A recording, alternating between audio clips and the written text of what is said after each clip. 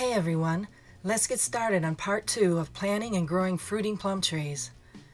We ended part one at disease and insect pressure of plum trees in your area.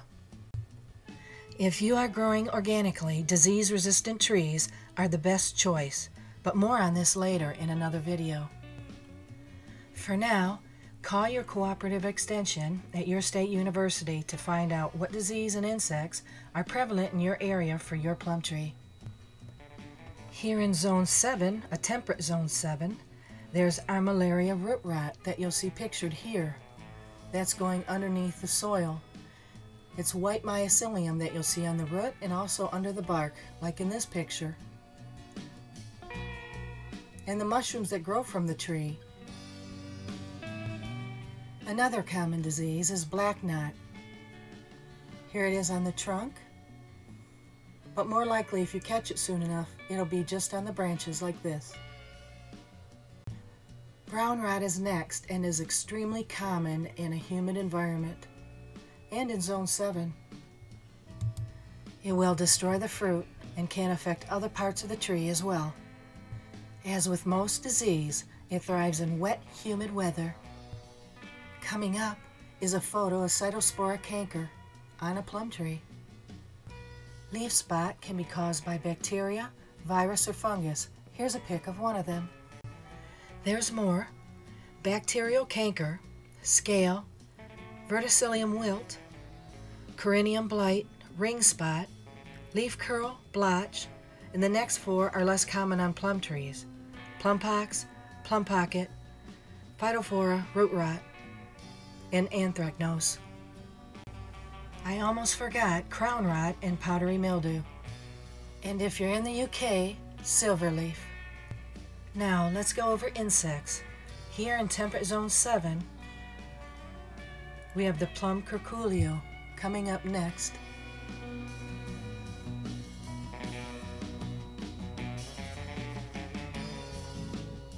It lays an egg in the fruit, the larvae hatch and dig through. There's a crescent-shaped bite mark. There it is when it's very young, when your fruit's very young, but it'll get on older fruit too. The oriental fruit moth is another common pest here. And just like the plum curculio, it lays an egg, the larvae eat away at your fruit. Like the plum curculio, it leaves behind a gummy substance on your fruit. Next up is the tree borer that gets in the base of your tree, the root line, the first foot of your tree at the bottom, or the crotches of your branches. The larvae look like this. Don't confuse tree borers with fruit borers like the plum curculio. Next up is the Japanese beetle, which is very, very common in the south. A few more include tarnished plant bug, leaf roller aphids, stink bugs, green fruit worm, codling moth, cherry fruit fly mites, rose chafer, leaf hopper, thrips or thripes, and, um, well, there's a few more, but that'll do. Now don't be discouraged, there's hope. Because of these diseases and pests, organic growers should purchase tree cultivars that are resistant to common diseases and common pests in your area.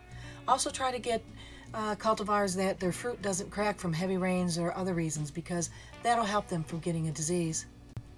From experience here in Temperate Zone 7, I can tell you that brown rot, bacterial leaf spot, thrips, Japanese beetles, and tree borers, and plum curculio are present here.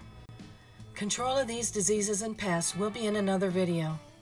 I will also include named cultivars that are disease resistant. There are some things I can go over quickly now.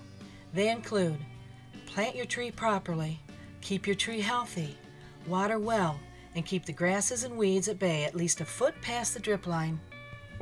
Remove disease, dead, and damaged limbs as soon as possible. Clean up fallen debris from around the tree. That's about it on that. Briefly, let's talk about rootstock.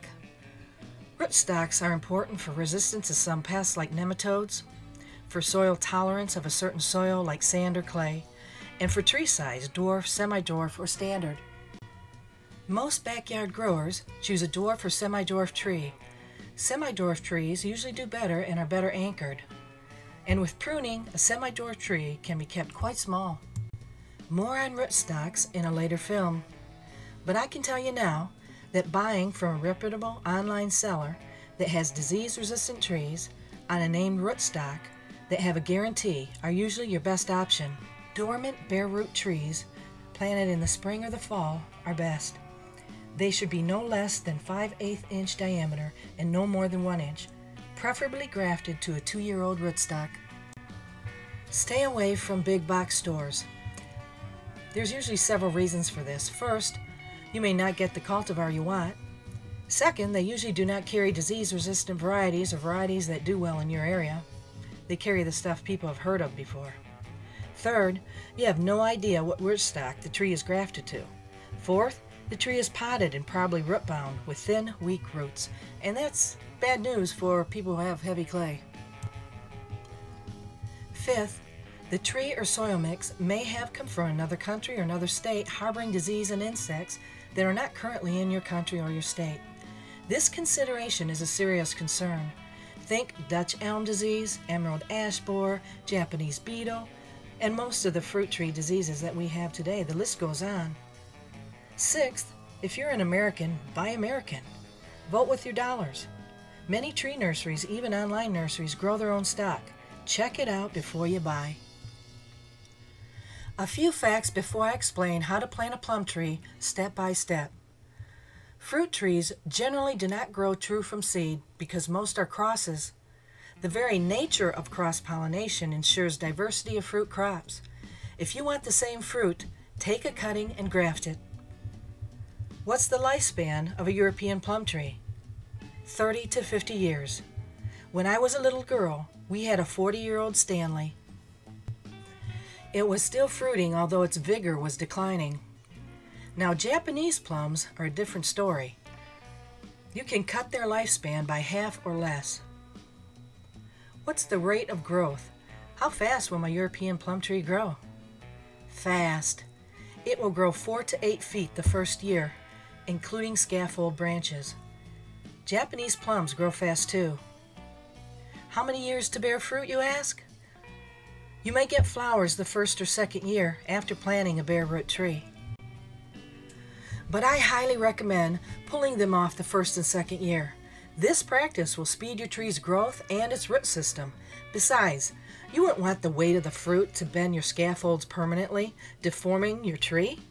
Or worse, breaking the precious scaffolds. Fruit trees break easily. You will get a lot of fruit from your plum tree the season of its third birthday in the ground. These you keep so you can chow down. So if you plant it in spring of 2019, you will harvest a good quantity of fruit in 2022. This goes for Japanese plums as well.